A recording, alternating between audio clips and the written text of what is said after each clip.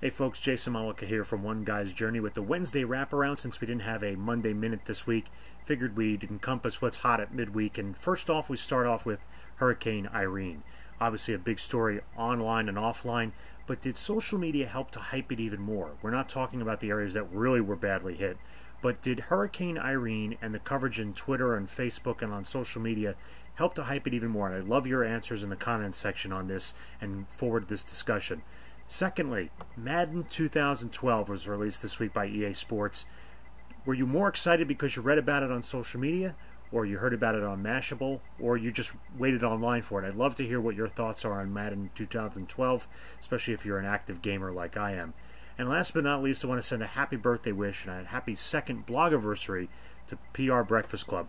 I'm lucky enough to contribute one of the small members of that great group, and they are celebrating their second blogiversary. So happy birthday to PRBC. May you continue to have many more great blog years ahead. This is Jason Mollica for the Wednesday Wraparound. Leave your comments below in the comments section.